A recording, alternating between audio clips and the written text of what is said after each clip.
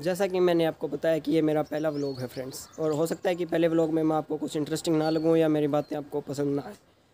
तो हम बात करते हैं व्लॉग बनाने के लिए. ये नहीं है कि आपने एक ट्राईपोड और एक मोबाइल लिया और आप एक व्लॉगर बन गए. व्लॉग बनाने के लिए हार्डवर्क और एक्सपीरियंस डेडिकेशन भी चाहिए.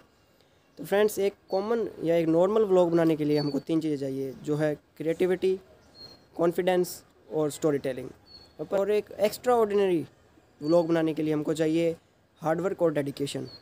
अब अपना जो पहला पॉइंट है कि कॉन्फिडेंस फ्रेंड्स अगर मेरे अंदर थोड़ा बहुत भी कॉन्फिडेंस है, तभी मैं आपके लिए वीडियो लेके आया हूँ और मैं एक पार्क में बैठ के वीडियो बना रहा हूँ।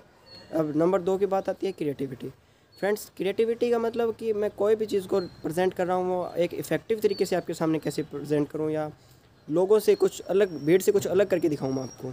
इसलिए मैंने ये जो पीछे का पीछे का बैकग्राउंड है, ये बिल्कुल नेचुरल और ग्रीनरी से लिया है।